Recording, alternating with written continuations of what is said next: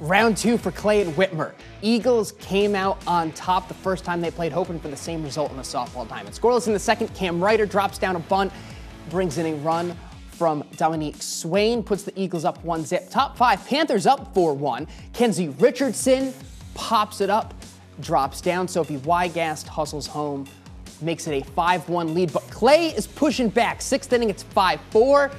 Nate Kragilski sends it into left. Aubrey Arts makes the snag.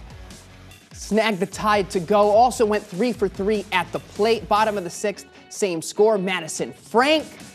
Deep to left, Olivia Wenrick scores. Sharon Snow follows suit. It ties it up. Reagan LaPointe does not make the snag. Morgan Cook makes it three runs coming in, gives them the lead. They score a few more times. 9 5, the final. Clay goes on to win.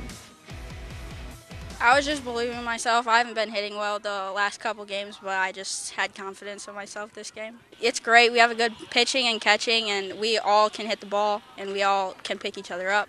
We were just cheering and believing in everybody. Even if you make errors, you just go for the next one. Brad was Nikki, Steve Ronkowitz. What did you see?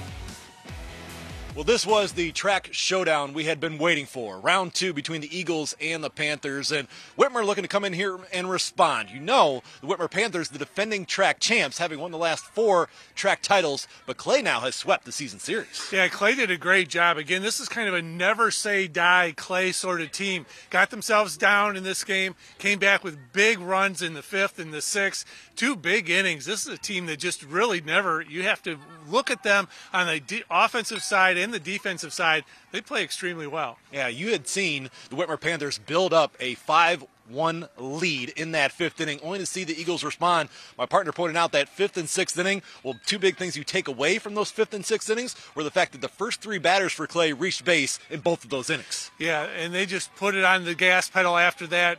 Big hits at big times. That's one of the things this Clay team did.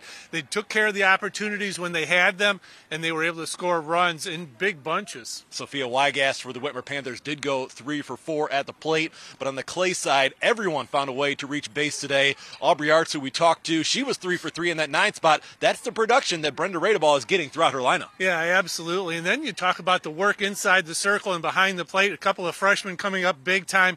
You know, they never got rattled. That's one of the things you had to look at it as far as this Clay Eagles team. You know, they may be young at those two positions, but didn't phase them in the least. That's the second loss now for the Whitmer Panthers in conference play, while the Clay Eagles improve to six and one in the TRAC.